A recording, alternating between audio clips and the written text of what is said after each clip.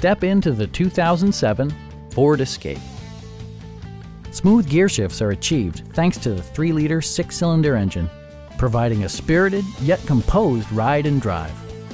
Four-wheel drive allows you to go places you've only imagined. Top features include air conditioning, a rear window wiper, front fog lights, a roof rack, and leather upholstery.